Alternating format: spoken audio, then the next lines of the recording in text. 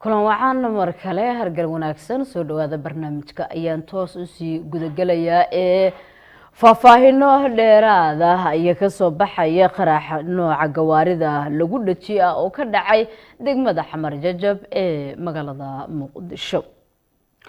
wararka soo baxaya ayaa waxa ay sheegayaan in qarax loo adeegsaday nooca gawaarida lagu dhajiyo uu ka dhacay degmada xamar jajab ee gobolka banaadir gaar ahaan meel u dhow kaalin shidaal oo ku taala inta u dhexeysa dekada muqdisho iyo xabsiga dhexe xamar. Gaariga nooca loo yaqaano saarifka ayaa la sheegay inuu ka dhashay qaraxa kadib markii lagu dhajiyey sargaal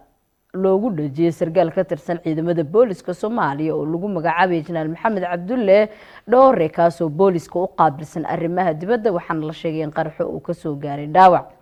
Ciidamo ka tirsan kuwa booliiska soomaaliya ayaa gaaray halkuu qaraxu ka dhacay kuwa oo goobta ka qaaday dhaawaca sargaalka gaariga watay oo la sheegay in dhaawaciisa uu yahay mid fudud saraakiisha hay'adaha amniga soomaaliya. Weli dhankooda wax faahfaahina kama bixin qaraxan maanta ka dhacay magaalada muqdisho. Waxaana beli la soo dhaafay soo badanayay qaraxyada lagu dhejiyay gawaarida ee magaalada muqdisho